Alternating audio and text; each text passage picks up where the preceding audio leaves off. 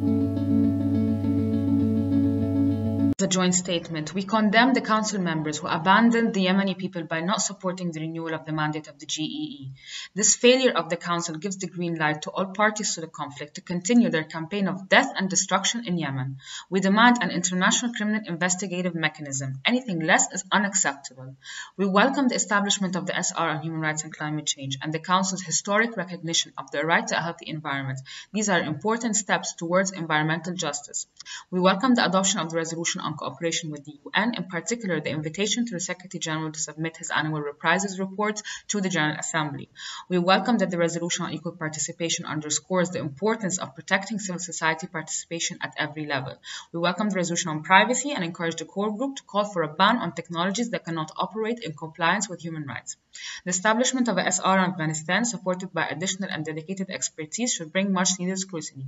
It should be a first step towards the full fledged investigative and monitoring mechanism that situation warrants.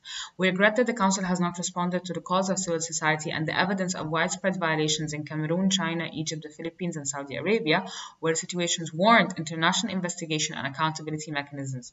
Sudan is still facing significant challenges, including threats of the militarization of the state, which is also the most challenging peril for women's rights and women defenders. The Council's decision to discontinue formal monitoring and reporting is premature.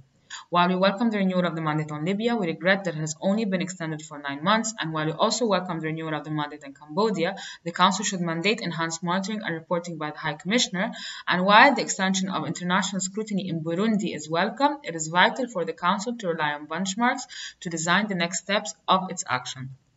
On Nicaragua, we urge the Council to ensure an adequate response at its next session, including the establishment of an international mechanism.